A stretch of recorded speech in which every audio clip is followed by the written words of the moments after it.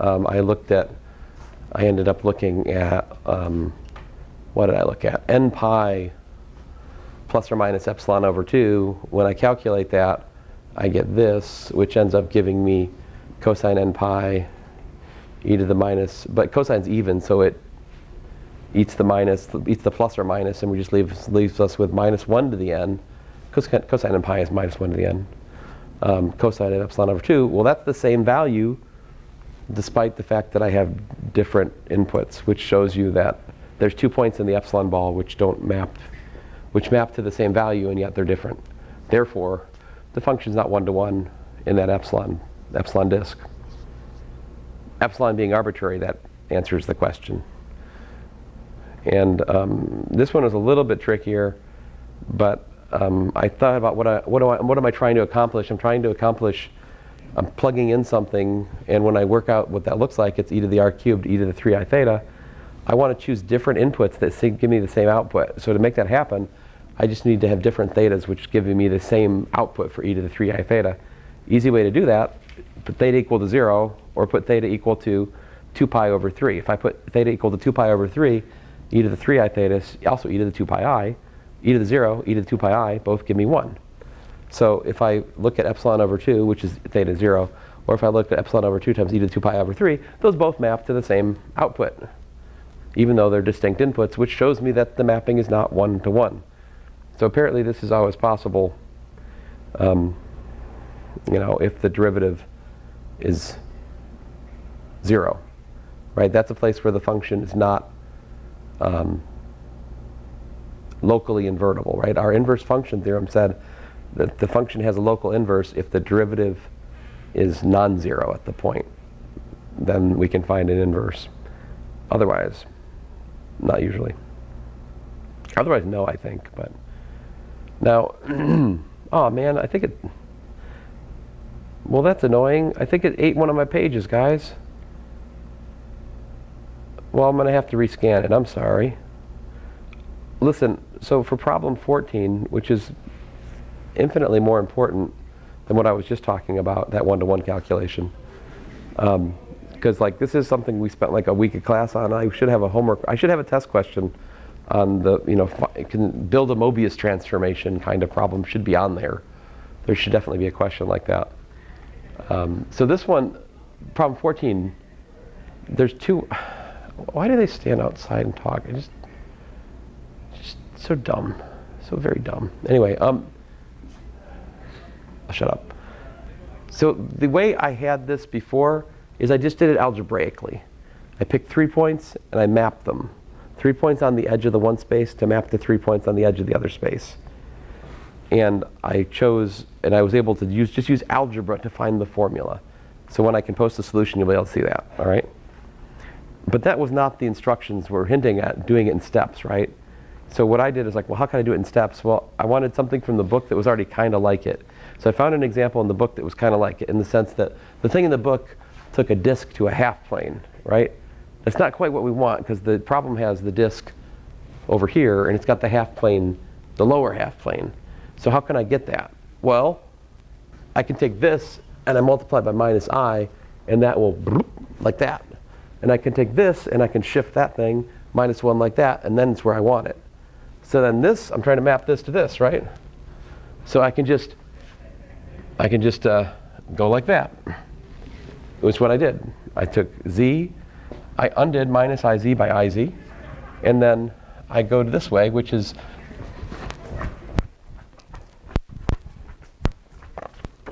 Hey guys, can you talk somewhere else, please? Thanks. had it. All right, so so then, oh no. So then, um, th this mapping is in the book. I just copied this from the book, okay? And so I, I plug in iz in the place of z, which I have here, and then down here I subtract one. So that's the mapping which goes from there to there. So that was the method I used, just to piggyback off what was in the book I didn't have a lot of time to come up with this. This is what I thought of today, okay? Um, there are more systematic methods that I. Anyway, so like I said, when I post this again, I'll have a whole other page doing that a very different way. And the thing is, when I do it the other way, when I do it the other way, when I do it the other way, instead of finding, th this is the formula from this page, doing the other way, which again, I, my, the scanner, uh, the scanner choked where I was scanning before class and it must have missed a page. I had this formula. Well, this formula and that formula are not the same. Does that mean that a given mapping problem, there's more than one Mobius transformation that will map a space to a space? Yes, in fact, so. So there are actually infinitely many different Mobius transformations which will map one half plane to a given disk, but they will do so in a different fashion. If you wanted, a, if you want a specific transference of like a particular three points to another particular three points in a particular order, I think that will uniquely specify the Mobius transformation. But there, how many different choices are there of three points on the edge of a region and three points on the other edge of a different region? Well, there's, there's many ways to choose those three points. So there's not a uniqueness overall in just the region mapping. Um, but there is a unique answer to the question mapping three points to three points. that is unique. So regions mapped to regions, not uniquely, um, but triples of points mapped to triples of points. These are actually very fun, right? It was an odd problem, so you guys should have got this one, right? no? Ah. Anyway, so if infinity maps to infinity, it's, it's, it's of the form az plus b. It has to be. That's the only way you can get infinity to infinity. It has to be linear. And as such, I can just plug in f of 0 is 0, f of 1 is 1, and that gives me iz. This one, um, I've got, uh, let's see here, I've got 0 going to 0. That means there has to be a plain z in the numerator.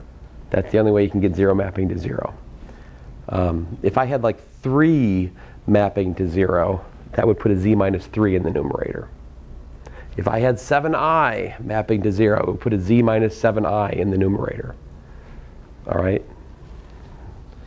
So essentially the factor theorem, but for fraction. And um, so I have that's my pattern, and but I know f of 1 is um, 1. I know f of infinity. So infinity is always like the ratio of the leading coefficients. That's how to do that.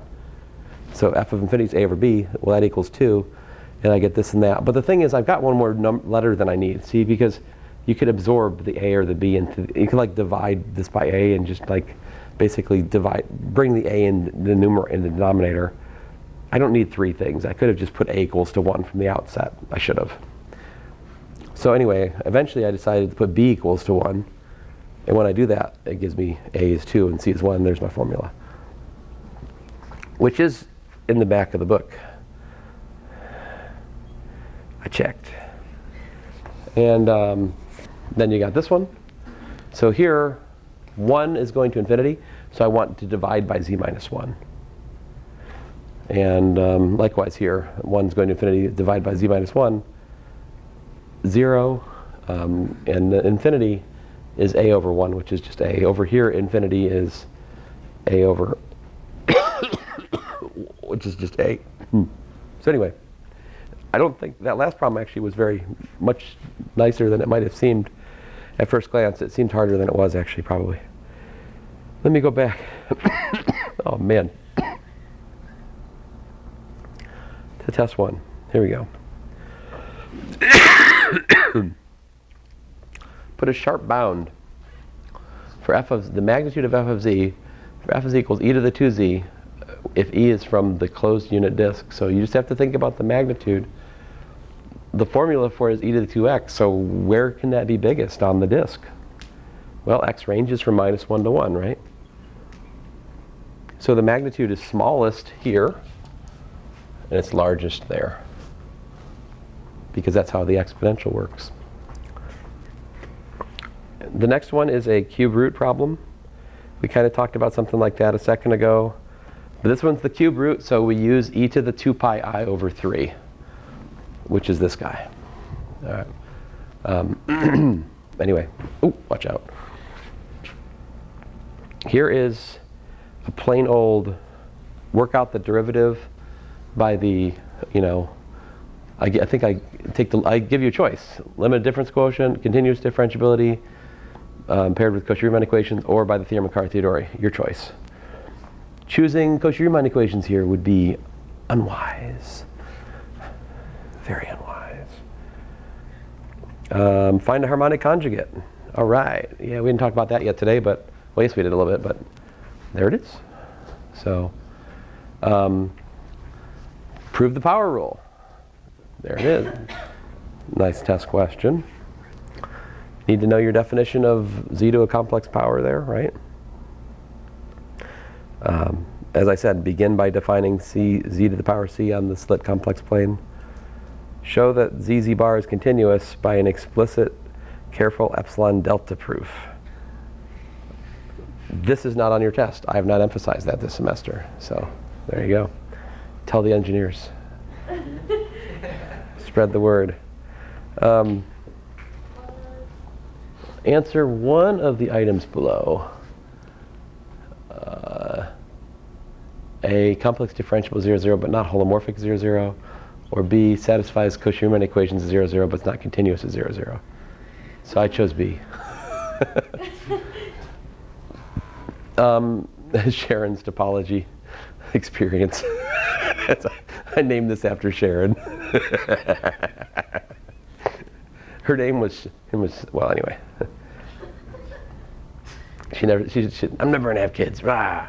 And then Spran was like, she had, she had a kid. And I was like, ha ha. it's good.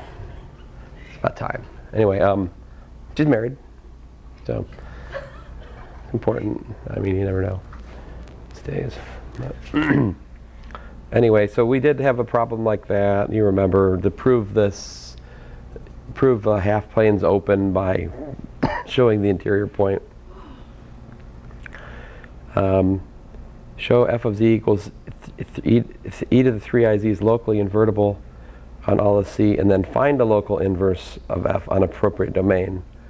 So to show that it's different, that it's complex different, so that it's invertible everywhere, the derivative is non-zero everywhere. So by the inverse function theorem, a local inverse exists.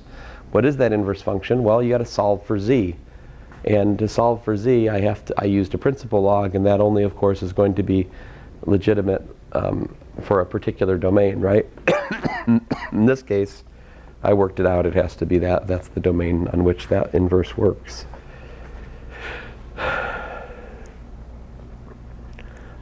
Let's see here. Um, graph. Oh, find a fractional linear transformation from the unit disk to the to that. You know, make that happen. Oh, here and this is the evil. It's dead to me now. That's dead to me. So you don't have to like like yeah, I mean it'll it'll do it, but yeah, it, yeah, no. Just no. Don't do it.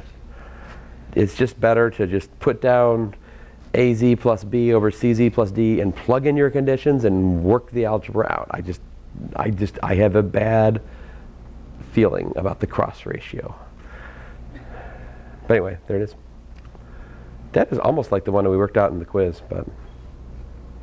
So I guess that answers your question, I think, for the most part. This is pretty much on track with what we've done this year, I think. So um, I could have used this test, but now I showed it to you. So use the other one that I've never seen. which which one was that? There's one other one listed on the website, on the website. Oh, really?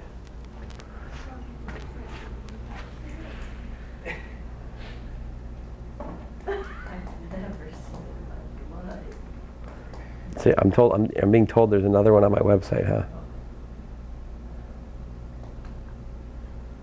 Like, Oh yeah, do we get to use a note card? sure. Maybe I'm like Using it. Yeah. Where is this? Oh, this one? Oh, I got two, don't I? To, let's interior point, complex differentiable, Cartesian form. I'm just going to scan through cosh. Show that cosine is cosh IZ. Oh man, that's nice. Well, I was too nice.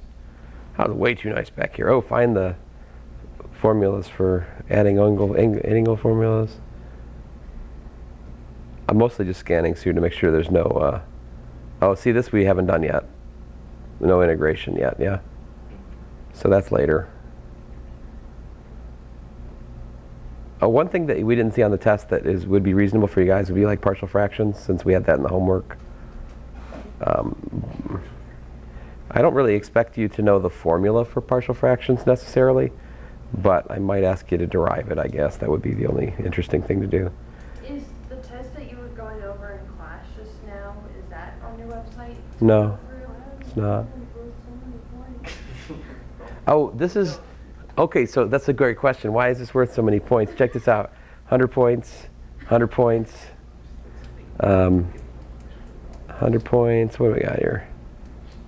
Um, th- I think this one is kind of sort of on track because it, um, it doesn't have any, uh, yeah.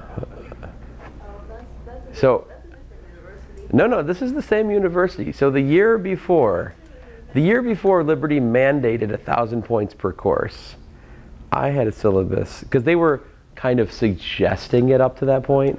There were, it was in the like we suggest that you do it. Suggestion became mandate, but before it was mandated, I took the suggestion and I did ten times. I had ten thousand points in my syllabus, and I said every point's a point, so you'd have a thousand points on a test, or maybe 1,500 points on a test. Uh, Your homeworks would be worth 200, 300 points. It was great. Everything was points. So like all of the homework, every homework problem would be like 10 points. It was very nice for grading, and it was 10 times as good as the current system we have. So, be like psychological well, this is. Oh, that's just a typo. It's because I was uh, taking a 332 test and changing it to a 331 test. That is not meaningful. Anyway, I shut up. So.